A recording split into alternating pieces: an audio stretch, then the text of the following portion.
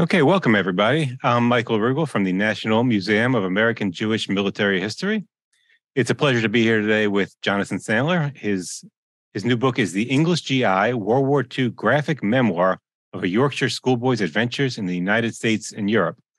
It tells the story of Bernard Sandler, Jonathan's grandfather, and it's based on Bernard's own memoir and written in the form of a graphic novel. Uh, Bernard's story is typical of a Jewish soldier serving in the U.S. Army in, in many ways. Uh, it's quite familiar compared to the stories we tell of the over half a million Jews who served in the American military, but it's quite unusual in that uh, Bernard Sandler only served in the U.S. Army because he went on a school trip.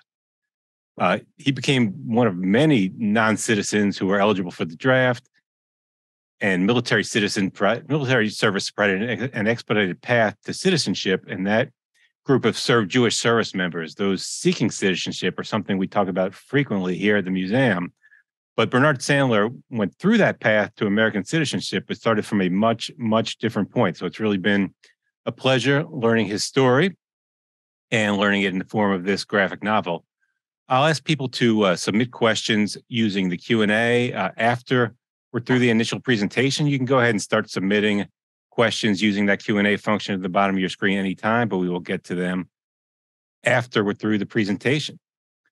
Uh, Jonathan Sandler studied politics at Leicester University and has spent a large part of his career working in software industry, leading and managing complex projects. Jonathan, a keen sketcher, has always been passionate about World War II history and graphic novels. In 2020, he combined these dual interests and commenced work on the English GI, which was published this year. He lives in West London with his wife and three children, where he joins us from today. Jonathan, thanks for being here. Thank you, Mike, and thank you so much for the introduction and uh, for giving me the opportunity to talk about my uh, grandfather's World War II experience and also my own personal journey in creating this unique graphic novel. Uh, yeah, I live in Golders Green in northwest London uh, with my wife Jenny and my three kids. Uh, Golders Green, for those that know it, is the heartbeat of the Jewish community here in London. And we attend uh, Golders Green Synagogue on Dunstan Road. Some of them, some of you may know that. Uh, my wife, actually, Jenny, is actually originally from uh, Palo Alto in California, and I've got family all over the United States. Um, I was actually recently, I was in New York and Stanford uh, only last month for my brother-in-law's wedding. Um, I, I, also I work for an American software company, um, so but this is very much my debut in the public publishing world, and um, I'm here to talk to you about my grandfather's memoir, The English GI. Um, now, I don't know if this is the, I'm pretty sure that this is the first graphic novel that uh, we've talked about here at the museum. Over, I know there's been many amazing books uh, over the years, but this is, uh, I, I, suspect, the first. Yeah, yeah first, uh, the first speaker from for a graphic novel. Yeah, many book talks. This is the first one we've had based on a graphic novel. Great. So I'm just going to give a short presentation. Um, I'm just going to share my screen. Um, so firstly, I just want to introduce you to my grandfather, Bernard Sandler. He, he was born 100 years ago on the 18th of October, 1922. He grew up with his brother Max and his sister Sonia. He had a very happy childhood growing up in Leeds. Leeds is a city in Yorkshire, 200 miles north of London. Um, he had a very traditional Jewish upbringing. He had his bar mitzvah at a synagogue called the Francis Street Synagogue in 1935. Um, he lived with his parents, Celia and Jaime, and his grandparents, Morris and Gittel Hurst. So in August of 1939, he was almost 17 years old, and a friend of his from his school asked him to join him on a school trip to Canada and the United States. Now, August 1939, it was a precarious time in the world. And I think his parents pondered whether he should go on this trip. Um, he needed to persuade them, and they said yes. Uh, it couldn't have been an easy decision given the situation in Germany. Um, there were 20 children, uh, young adults from the north of England that went on this trip, uh, including two from his school and they had an extraordinary time in in in uh, Canada and North America. And the last day of their their trip was in 19 it was the 3rd of September 1939. And at that point, Um, at, the, at, this point, he was um, uh, Neville Chamberlain declared war. Britain had entered World War II, and he was unable to get home. Um, it was decided that due to the dangers of U-boats, that Bernard would stay in the United States, and that is the dramatic start to to this extraordinary story. 17-year-old Bernard had never even been to London, and suddenly he found himself living in New York City. This provincial boy from Northern England was now living in the cosmopolitan surroundings of New York. The art, the jazz, the theatre, the liberal social views, it all had a profound impact on him. And it even shaped his future career in the theatre production. So this begins his remarkable World War II adventure in the United States. And what makes Bernard's story so unique is that he was a British citizen fighting for the US Army.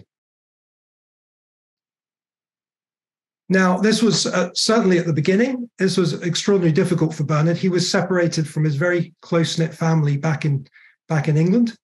Um, no phone calls, um, just letters and the odd telegram. He didn't even know if letters would get back to his family. The separation was deep, but it really was the making of him. So, the question is, of course, how did my book actually come about?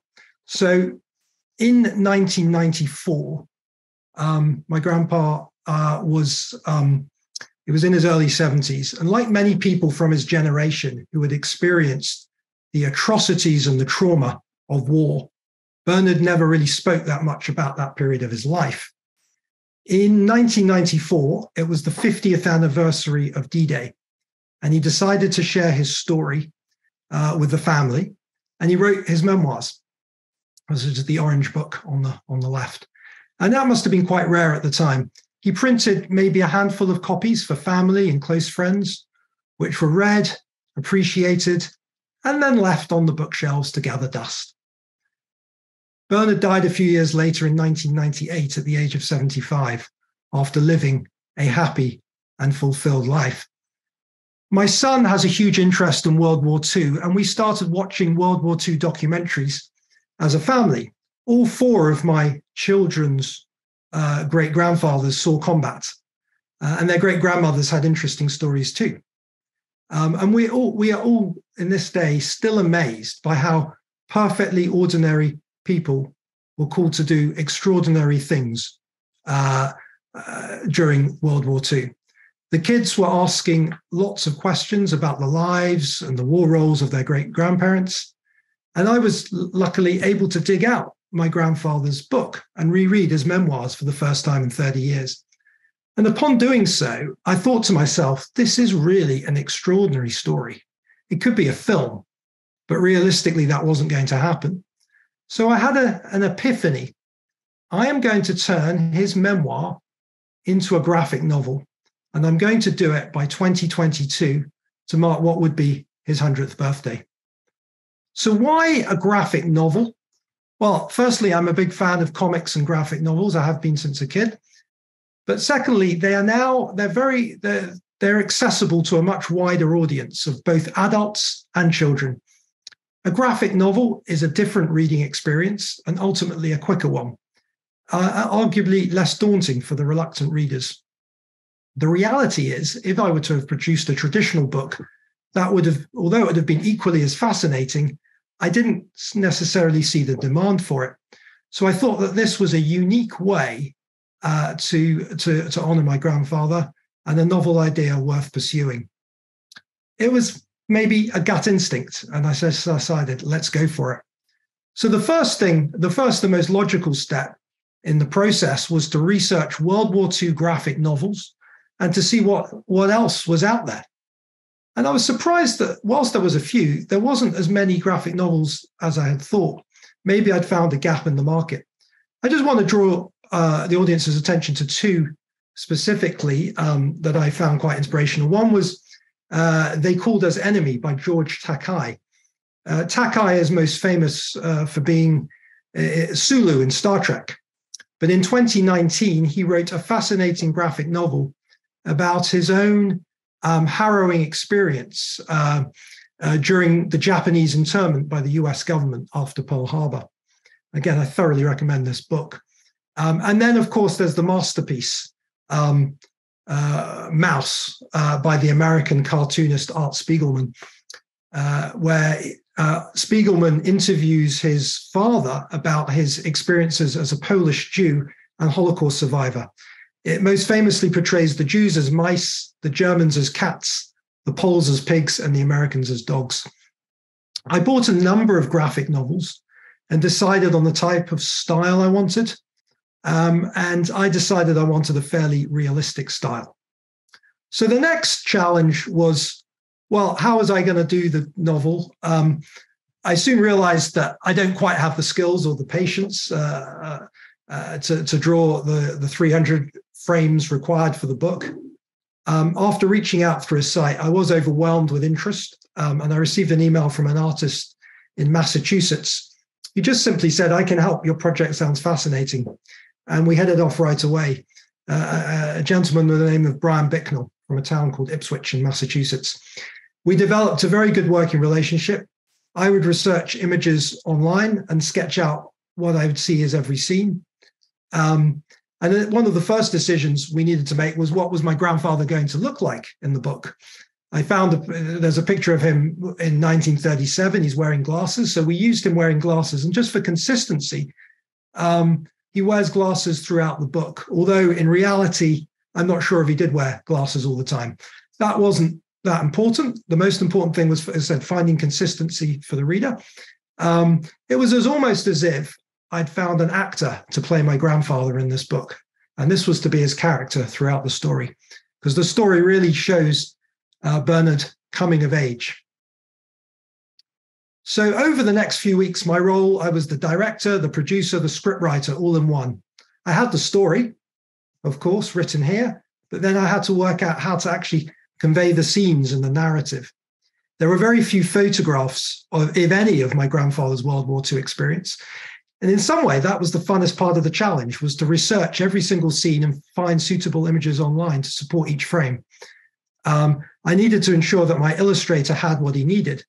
For me, the details were so important. The signs, the background had to be authentic and detailed, whether it be in New York at the start of the book or when he is in the army late, later on. So I'll give you an example.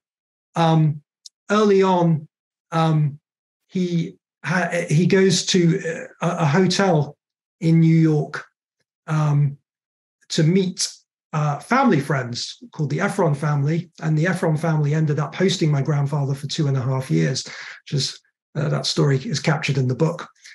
He goes to meet them at a hotel lobby in central Manhattan.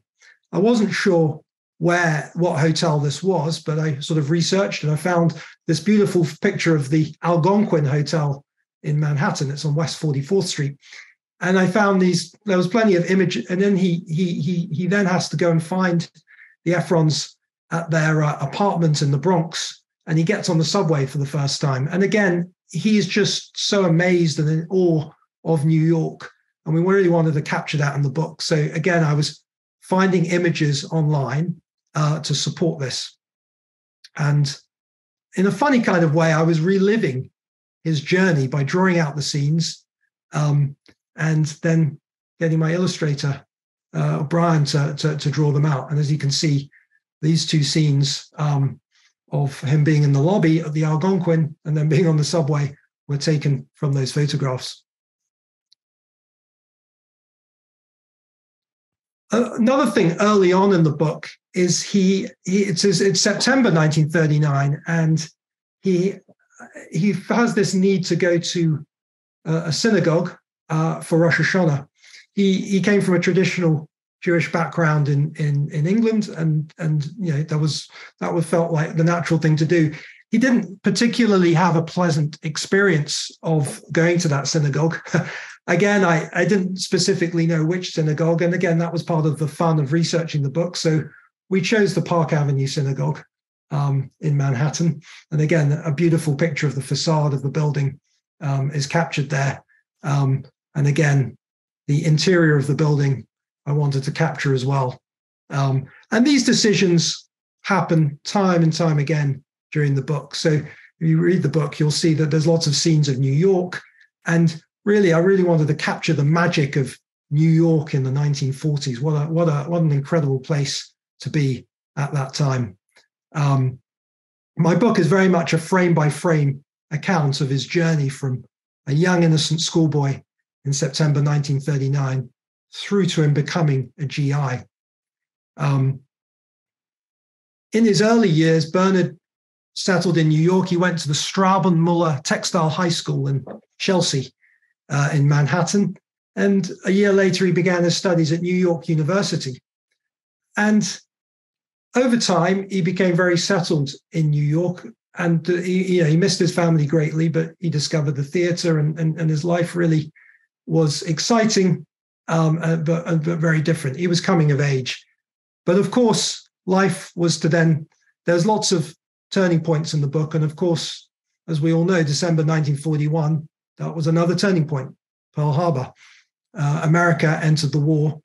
Um, but that didn't necessarily have an immediate impact. Um, uh, one the, before Pearl Harbor, the USA draft required men between the ages of 21 and 45 to register. So Bernard was okay. But then on the 30th of June, 1942, men between the ages of 18 and 20, born between the 1st of July 1922 and the same date in 1924 were required to register. So that was that was his time. Um, so just over 80 years ago, my grandfather was actually spending the summer in Washington D.C. Um, he was in a sweaty office. Uh, he was doing a summer job, and that's where he registered for the army. And I, I did manage to find, um, from the Jewish Welfare Board, um, his, his, his registration uh, card um, on uh, as part of the research for the book. Um, and yeah, that's that's his actual certificate. Um, but again, you know, he registered for the army and then he went back to university. It wasn't there wasn't um, an immediate call up. Um, it wasn't until February 1943, so we're quite a way through the war, um, that he reported to Fort Dix, New Jersey, for basic training. Um, and that basic training lasted 11 weeks. I was able to find these fabulous photographs or postcards of Fort Dix. Again, provided great inspiration for the book. Um, and this was these photo, these photographs was uh, during World War II in Fort Dix when people arrived for their induction. Um, for the most part of uh, 1943, um, he was actually uh, after his basic training, he went into something called the the ASTP, which was uh, he was training uh, the the army put in place a program to train people to become engineers. Um, and this was a, a, a, a program that include, included the likes of Mel Brooks, Bob Dole, Henry Kissinger. They were all part of the ASTPers.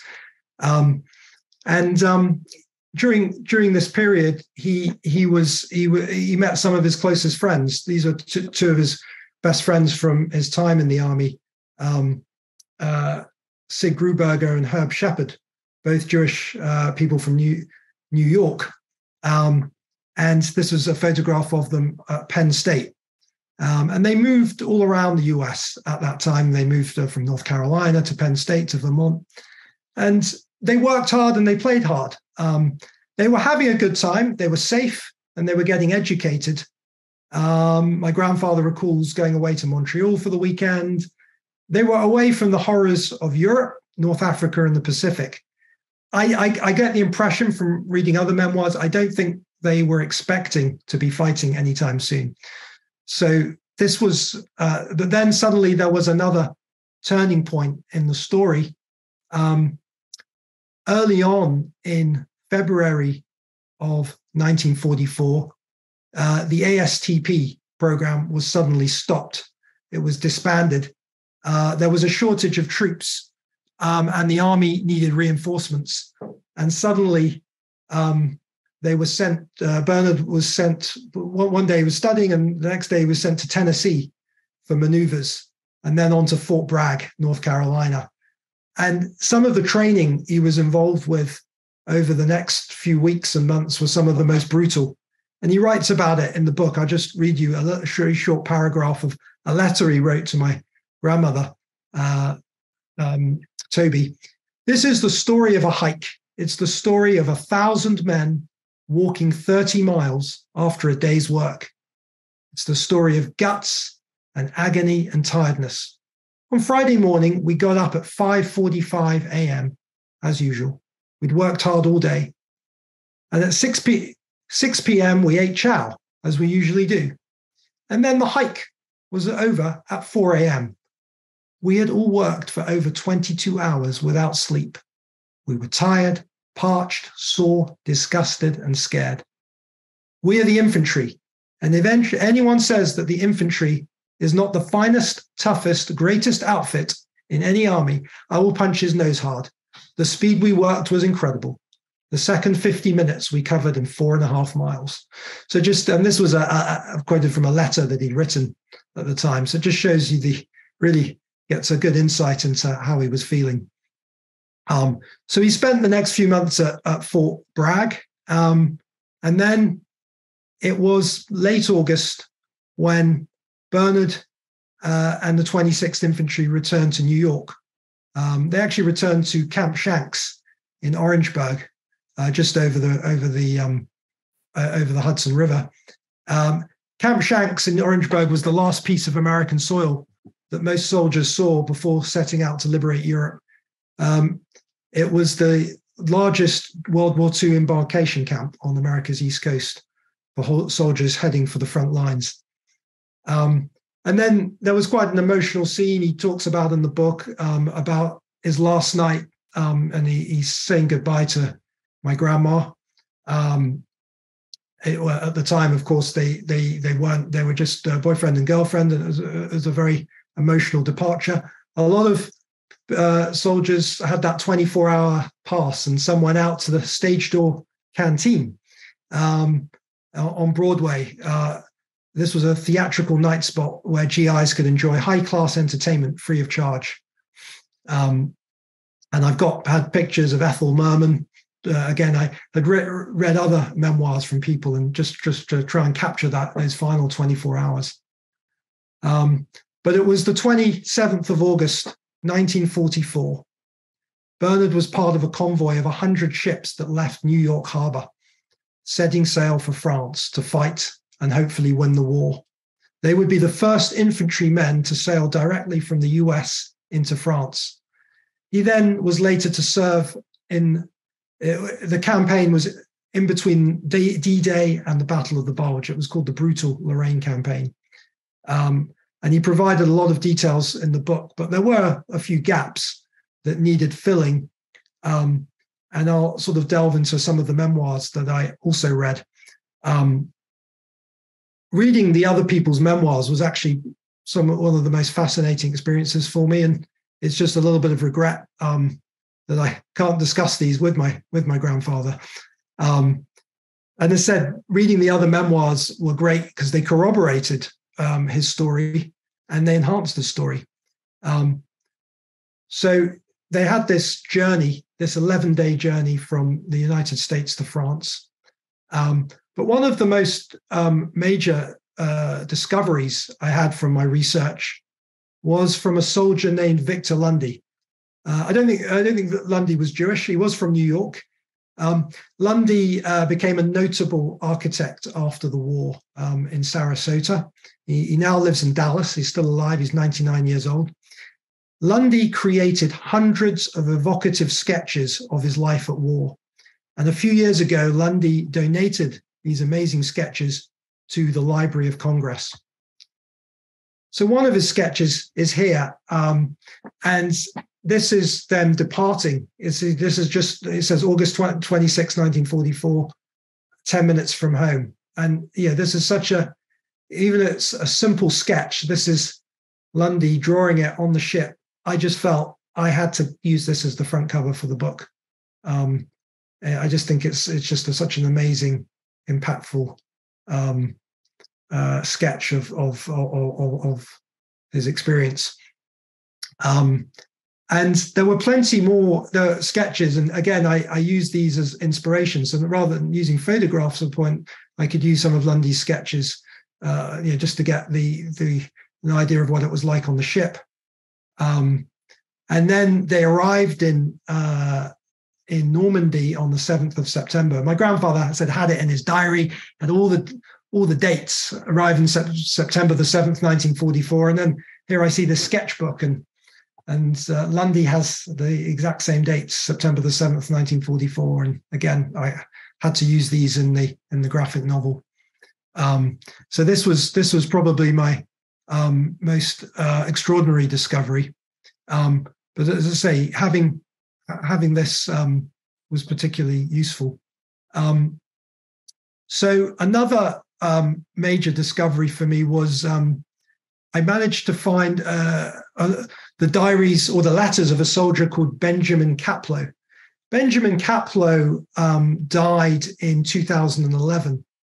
Um, and um, his wife found a stash of letters in the loft um, uh, after he died. And she read these letters, and these are really incredible letters.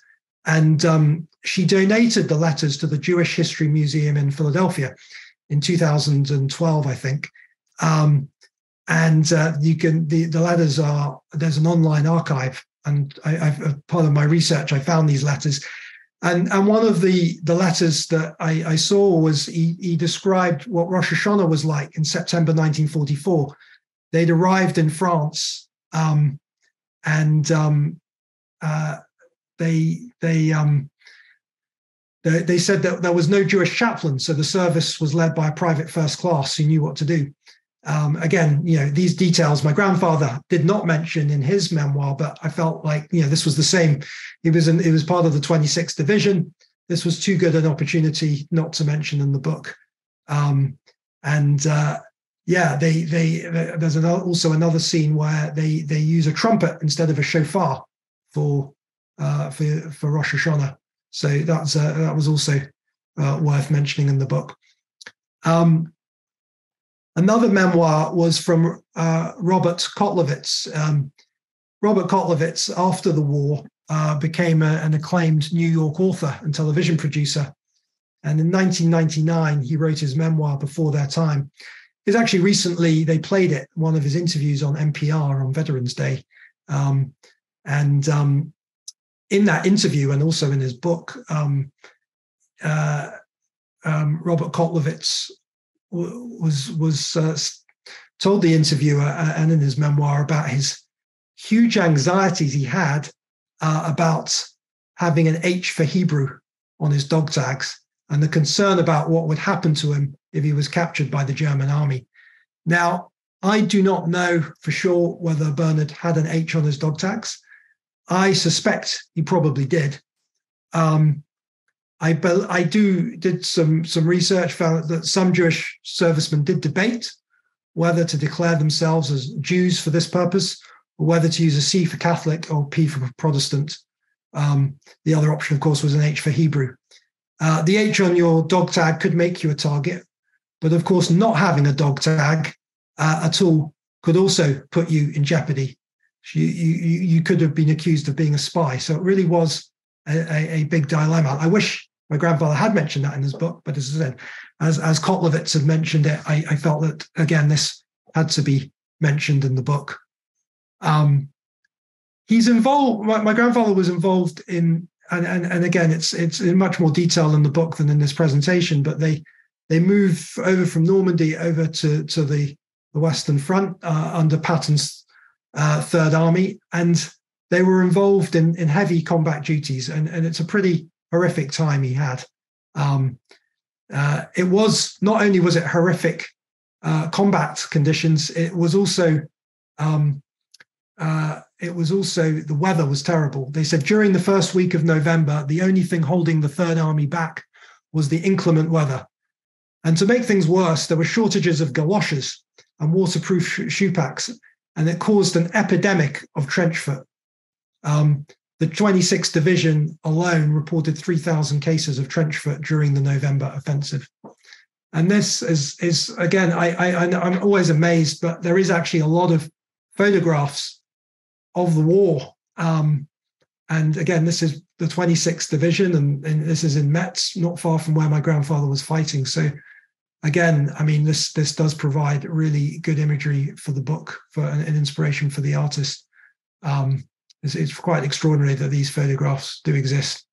Um, and again, the, the, this is more photographs of, um, as we said, the, the, really, really terrible conditions. Um, now, my grandfather was was involved in fighting, heavy fighting for for that month, October, November, um, and he he. I mean, he'd be the first to say he he he, he was very fortunate. He got injured in, in a in a very simple incident, and he he was sent to hospital in Paris, and um, he was then uh, transferred over to England. Um, but I think having this, uh, uh, that one of the other memoirs that I read was from another Jewish soldier, uh, David Markov. David Markov was also, uh, said he's also Jewish, and he wrote in his memoir that he suffered from trench foot. He was also hospitalized in Paris. Um, and there was quite an amusing quote in his book. He said, To make matters worse, Markov wrote, in the hospital, he came upon an article in the Stars and Stripes newspaper under the heading, No Purple Heart for Purple Feet. Uh, Markov noted his displeasure with the article, but he did go on to say that it was written by a desk journalist who, mercifully for them, had no idea whatsoever about the reality of combat conditions. I think there was generally a skepticism about trench foot at the time. Um, but that was my grandfather's uh, uh, way out in a, in a sense. He, he did he suffered from that for, for about three months, and there is um, a remarkable reunion with his family uh, when he when he returns to England. He doesn't return to to Yorkshire. He returns to Bournemouth in the south of England, and there is a little bit of a story about how they actually find each other um, in the book. Um, but it was it was an emotional reunion after after about six years that they'd been separated. Um, now, he was incredibly fortunate to survive um, uh, this period. Um, sadly, lots within the 26th Division were killed.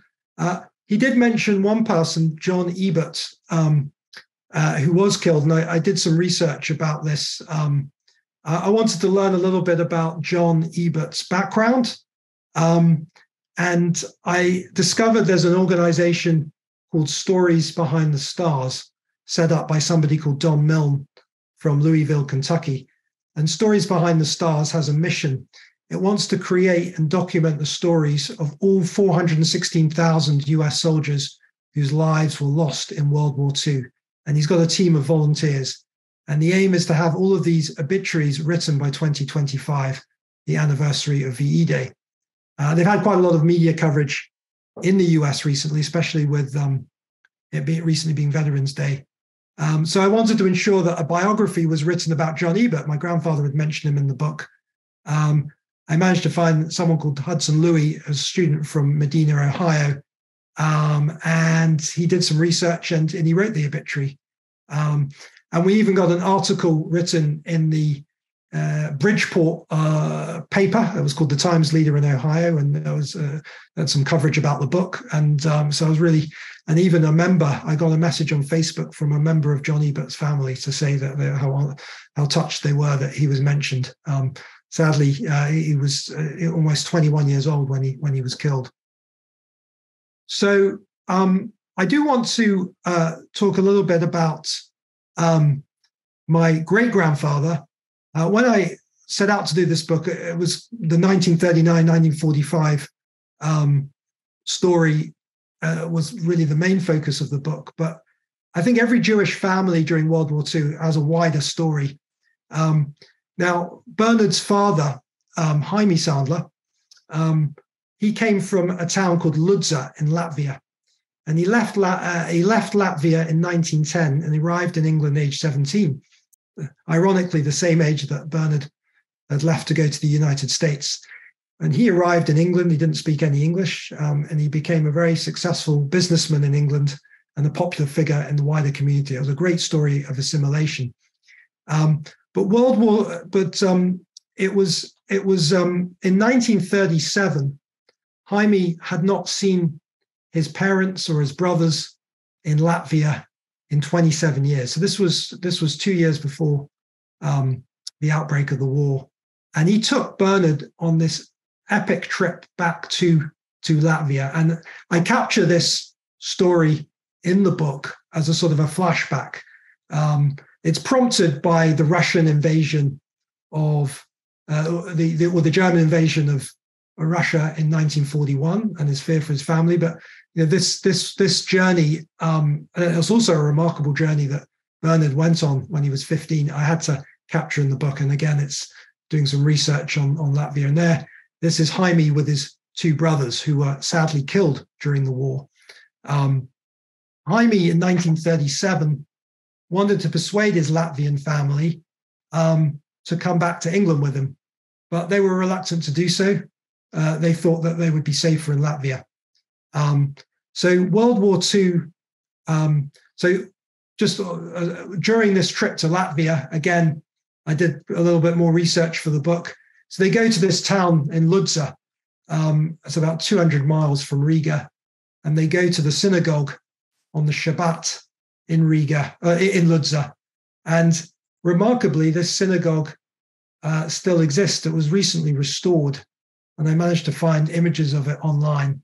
Um, and again, you know, I, I, I, was just so fortunate. You know, my grandfather describes this emotional trip back to Ludza and how emotional it was for his father to be in the synagogue and to be greeted by everyone who hadn't seen in 27 years, and then to be able to draw that scene out was was was was fantastic. Um, but yeah, World War II was was a very difficult time for my great grandfather.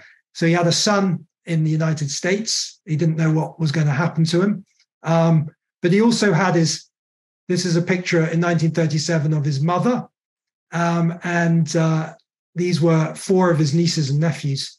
Um, and they had quite a, a, a, journey in this in the Second World War. Um, and I write about their their fate.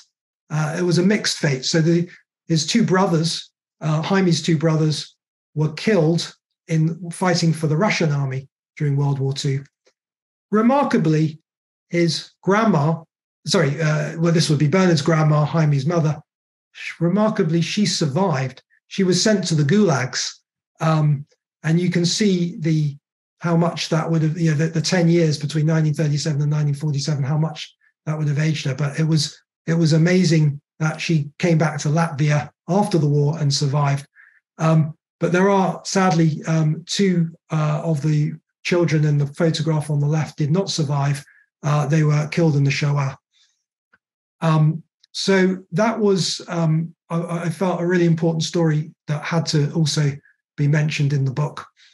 Um, so I also have to mention um, uh, it was also a, a, a, romance story. The book. Um, my my my uh, grandfather met my grandma, um, Toby Barish. Um, they met at New York University in 1940, um, and Toby Barish was a fine arts student, uh, and together they discovered a love for the theatre and the art scene. And they said that period between 1940 1942, they just had such a great time in New York, just discovering discovering the world. My grandma uh, was a New York born and bred. Uh, her parents were originally from Galicia. Um, our parents, Manny Barish and Esther Wiesen, uh, they grew up on the Lower East Side of Manhattan. They were married in the early 1920s, and they moved to Belle Harbor, Far Rockaway in Long Island. Um, and my grandmother and her brother David, they grew up in Far Rockaway. Um, and then said my my grandma, uh, so Toby met Bernard in 19 during the early 1940s, and um, when Bernard came back to New York um, after his injury, they, uh, after a short amount of time, when the war was over and uh, Bernard was discharged from the army, they they got married in 1945, August 1945, at Temple Emanu-El Synagogue in Manhattan, um, which was which was a lovely lovely ending to to this story. Um, my my my gra- I think it's the, the the whole process. I felt I got to know my grandfather all over again he was very fortunate in the sense that he moved on from the war. He came back. They came back to live in England. Um, uh, the family had a business, and he, he, had a he had a really close bond with his family, and and it really picked off where it left off. Um, whilst Bernard was a businessman, his main passion in life was the arts and the theatre, inspired inspired by early 1940s New York. And he founded in 1969, 1970, the Leeds Playhouse, which was um, quite a feat in those days. Uh, which is Leeds Playhouse was a was a big theatre and it's still around in Leeds. And uh, you see, um, there's a picture of him with Prince Charles. Prince Charles when uh, opened the theatre in, in in 1970. So that's a nice to think that that was only 25 years after he was in the in in uh, fighting in the U.S. Army. You know, it just shows you how that the greatest generation just moved on and, and went on to do such great things. Um, and that's him meeting Princess Anne. Um, uh, but it's interesting. My uh, there is an anecdote. My grandfather um, had a great life in the theatre as well but he he had an interest, some interesting friendships. But one of them I just want to an anecdote is he met, he became friendly with Roald Dahl. Roald Dahl, of course, is the famous author and provocateur, um, uh, and because um, Roald, they, they, he was Bernard was a producer and Dahl was a playwright, and uh, they they worked together on a few things. Um, and uh, just whilst we we're doing research for the book, we did find some papers um, and my grandfather had written just before he died. And he describes his friendship with Dahl uh, between 1977 and 1983. And they dined in each other's homes and enjoyed each other's companies until 1983, when he discovered that Roald Dahl was actually a raving anti Semite. Uh, Roald Dahl was interviewed by a British newspaper, and he shockingly said that Jews didn't fight in World War II for the Allies. I mean, it's just an absolutely outrageous statement. Um, and uh, this was, of course, before social media and Twitter, so he sort of got away with it. Uh, Roald Dahl phoned up my grandfather the next day for for for a chat. My grandfather answered the phone, and he said to him, "How can someone with such intelligence say something so stupid?" And he slammed down the phone, and they never spoke again. Um, my grandfather um, lived to the say the age of uh, 75. Um, he was very very close to his family, um, and this is a picture of my great um, grandmother Celia at her 90th birthday in 1988.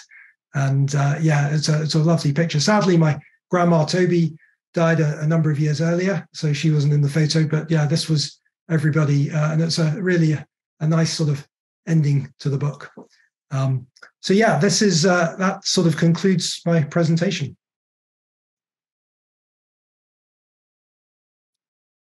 Think you're on mute, Michael.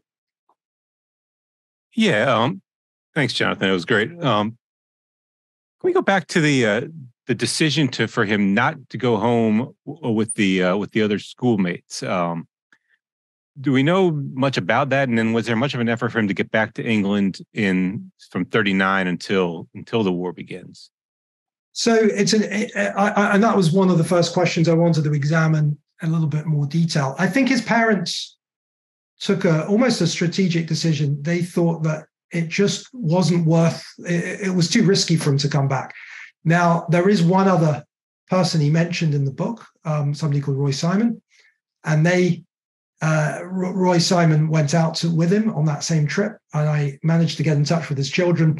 And I found out that Roy Simon actually did come back to England, and he ended up serving in the uh, Royal Navy um, for the British Army. So my grandfather's life could have been so different um, if it wasn't for his parents making that decision. So I think they they had to they had to make a decision. And there was a very um, interesting piece I, I read um, in in there was a lot of evacuees um, from Britain to the United States around about 1940, more of school children, because families, you know, they knew that the war was coming um, and they wanted to get some children out. But there was um, one of the boats taking uh, the the children from Britain to America was sunk by U-boats, so it, that proved it was a genuine risk uh, to have uh, to, to to be sunk going across the Atlantic. And the family stays with in New York. They were just friends, correct? What what, what was that relationship? So that's interesting. So so they they were called the Fanny and Jack Efron. Um, my grandfather didn't mention too much about them after the the the the war, and and I I think they sort of lost touch. I did manage to through research find um, the son. That the, there, there was a three year old son mentioned in the book, and he's drawn in the book, and and he was born. Uh, I said it would been David Efron, born in 1937, and I I managed to find an obituary of him. He lived in Chicago, and I, I wrote to his wife and told them the story, and she didn't know anything about it. uh, so I sort of, unfortunately, David died in 2017. Um, I was a few years too late, so we didn't know too much. Well, what I do know is that they were atheists. Um, they were they just had a very different they were sort of had a more socialist outlook on life and, and that actually influenced my grandfather in his in his political outlook um, i mean they took him on for two and a half years. It was just an extraordinary act of generosity. But i think it was at times quite a difficult relationship just because um, you know if you can imagine just just somebody being thrown into your life. But you know just with what's going on with the ukraine war at the moment where a lot of british families are taking refugees it's it's it's quite an interesting story. Yeah so you do include uh, in the book him choosing to go to synagogue when he's staying with those atheists and, and not enjoying the experience and uh, we have a question from doris rohr strauss in the q&a uh, what made his synagogue experience unpleasant besides missing his family well, is he? It says in the book that he was asked. Uh, he had he booked his seat and he was asked to move seats. That's that was the, one of the things he wrote down. So, I think it was probably one of these sort of high end synagogues in, in Manhattan, and you know he was just a, a shy seventeen year old boy, and that was the experience he had. Yeah, and you do contrast that some with with him finding some Jewish community in the army, and and, and you include the stuff on the services. So. Uh, he was more comfortable in, in that environment? Yeah, I mean that that was more for illustrative purposes. Um, as I said, I never actually got any definitive. Um, I don't know whether he, he, that was his experience, but I think you know generally he he he had such good friends in the army. I just felt that that was that was a good sort of parallel to draw. Uh, here's a question from uh, an anonymous question. Uh, my father was a World War II veteran and he experienced anti Semitism. Did your grandfather experience anti Semitism? It's a it's a it's a question um, that I've been asked before, and I, I just don't know the answer. I, I suspect he would have mentioned it um, in his book. Um, you know, he he does talk about the real uh, the the anti-Semitism in or the, the fears of, of the, the anti-Semitism in, in, in England in 1939. So I'd have thought he would have mentioned it. But what, what the one um, area I probably would have loved to have researched more is, is what that feeling was like between 1939 and 1941 in the United States, pre what before the United States had entered World War II. Um, I was recently watching the Philip Roth um, uh, there was a, a, a was an ad- adaptation of his book, um, and you know that that could have that was presumably quite a frightening period because um, he just didn't. I mean, you know, he does write in the book. He didn't know whether Britain was going to you know win the war or, or survive uh, the, the the the German invasion. So there was a genuine a genuine risk at that time. But no, in terms of anti-Semitism, uh, he doesn't uh, mention that. So he did go through with uh, getting American citizenship. He had dual citizenship, I believe. Um, did... Yeah. So yeah, he he was. It was when he was at Penn uh, University. It was when he was in the ASTP. He got a tap on the shoulder one day and uh, said, "You've got to go down to the courthouse." And he swore allegiance to to the United States. I think it was part of the rules. Um, I, I, suspect there's less bureaucracy than there would be nowadays in in in in in uh, organizing something like that. But yeah, he became a US citizen, and after the war, he, he is entitled to the GI, all of the benefits of the GI Bill of Rights. His university fees were paid for at New York University after the war. So they, they returned to England in a, a year or so after the war? Yeah, they returned in uh, 1946. So they, they went back to New York um, for a year and, and then and then returned to, to England. Or for my grandma had never been to England. Uh, that this was the start of an adventure for her. But for for for my for my grandfather, he he he really wanted to to return home. Do you think he maintained any kind of a, an American identity for the, for the rest of his life in England? Oh, uh, I mean, my my grand whilst they they moved to um, England, um, my grandfather was incredibly close to all of his relatives, all my all, my grandma's relatives in the United States, um, and he maintained that relationship even after my grand grandmother died. He, he, was he would have visited he visited the United States every year. He was a big um, and and of course one of his favorite place to visit was New York City. I mean, he would in, in his later years, he would go every year to New York. Um, uh, and you know, he, going to Broadway was was his main passion. Uh, here's a, I guess, a comment from Sarah Adler. Uh, somewhat similar story. My grandfather was also caught by the outbreak of war, having gone to see his brothers in New York in 1938 and booked to return on the Queen Mary in September 1939. He ended up working for a Jewish company in New York until 1943. Greetings, Jonathan from Mill Hill. Very interesting. Well, that was so. So my grandfather was due to go back on the Queen Mary in in um, uh, September uh, 1939, and that was the boat that he. So it does sound like there's a there's a parallel in that story. So I'd be interested to, to find out more, Sarah Adler, on, your on your family story. That's very interesting. Yeah, uh, there's a uh, Rivka Yerushalmi is uh, an offer for you to speak for the Association of Jewish Libraries. So we will make that uh, connection for you. Uh, Gary Glick, uh, we're in Rockaway.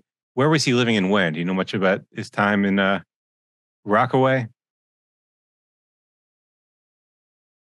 Sorry, my, my, my, my internet just cut off for, for a few moments. Yeah, we have a, a, a, Gary Glick says Where in Rockaway. Was he living in when? And uh, do you know much about that that part of the story? Rockaway.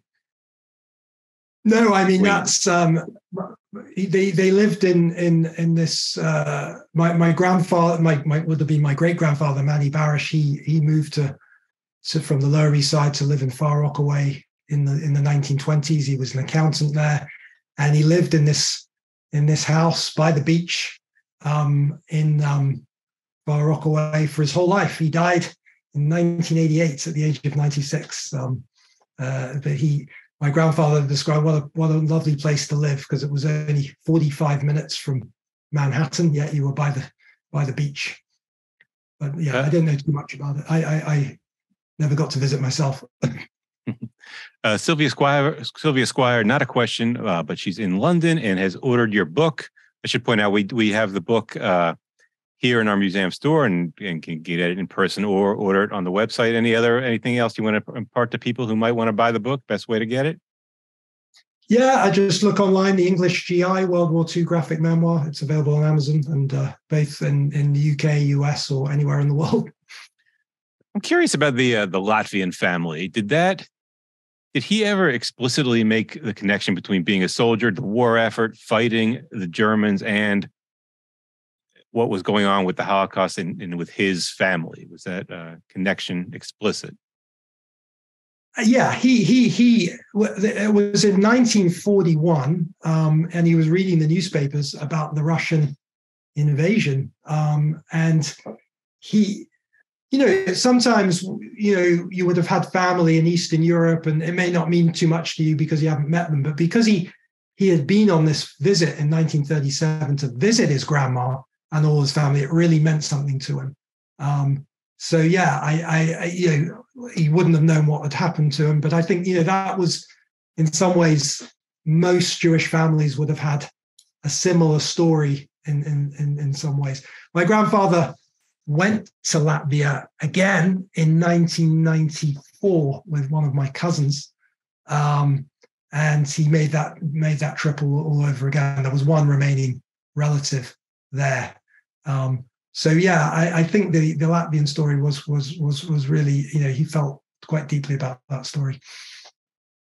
Yeah, so I'm just uh, if we can just finish up with one more. I'm going going back to I was looking at the uh, the draft card, the draft registration card from 1942 when he was here in DC and uh, looking at both the uh, home address and work address, both just a few miles from where uh, I'm sitting right now. and uh, you know, very interesting that there's the, the line on the draft card for a name and address of person who will always know your address, and he writes on there. Mrs. Levinson, Mrs. Levinson, I'm not quite sure uh, what the name is. Uh, full name not known. So it's just kind of an interesting uh, statement. Yeah, his, that must have been his landlady or something. Yeah, yeah. yeah he, the person. He, he had a summer job in. He had a summer job in Washington D.C. and yeah, that was. It, it, yeah. I mean, I found that draft card online, uh, which was amazing. Uh, so it's it's there's there's so much you know, and again, I, I, I think one of the messages of the book, you know, this is my grandfather's story. Everybody has a story, and I'm not a historian. I didn't uh, a lot of the research. In fact, most of the research I did was just just by being quite uh, innovative online and, and finding things. Um, there was, you know, even one of the soldiers he served with, um, Sig Gruberger, I managed to locate um, his daughter through sorts of research and ancestry.com and there's all sorts of ways. So i just encourage anyone um, to try and you know there's always leads out there for for doing research. How's the response been to, to the graphic novel format as a way of telling the story? Well that's that's the other message. So i i there's a the, the, number of times people have bought this book and have said, This is the first time I've read a graphic novel. I didn't realize, oh, I thought they were for kids. And uh, I was just, they were quite amazed by it. So, so I think um, if you've never read a graphic novel, uh, I think the English GI is a good good starting point. Uh, but there are there's a whole genre out there of really uh, interesting books. Obviously, Maus is the is, is up there as one of the best ones. But you know, the, the, it, I, I, think um, people have been really receptive to it as, as a as a as a way of uh, telling a story. Okay, so I think we can finish up there. Uh, any final words, Jonathan? No, as I said, uh, if you've not read a graphic novel before, this is a great one to do. And and you know, out there, please do your family research. You never know uh, what's what you might find. And you know, I said it's more the children now it's the children grandchildren great grandchildren of those that are fighting are, are, are, are now telling those stories. So it's really important to for everyone to find those stories and retell them. Okay so we did record this and we'll send out a, a link to the recording to everyone who registered and it'll also include links to buy the book. And thank you jonathan. Thank everyone for being on and uh, we'll be back. We're doing another one of these next week on uh, Vietnam with uh, Harvey Weiner and John Rashke. So that should be a fascinating uh, book talk the same time Thursday at three. So we hope to see some some of you back. And thank you for being on. Thank you.